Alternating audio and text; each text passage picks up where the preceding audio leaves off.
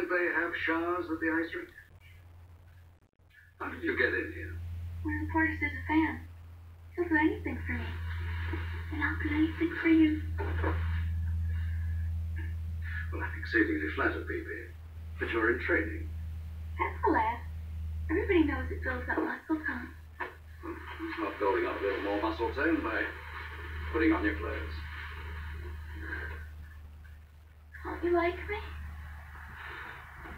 Why, I think you're wonderful, Bibi, but I don't think your Uncle Ari would approve. Him? He thinks I'm still a virgin.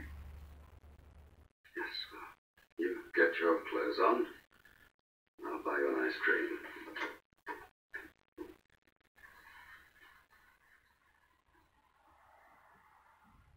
Ah, shall we?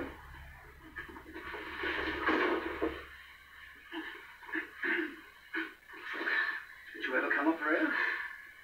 That's why I'll get the gold medal. Breath control.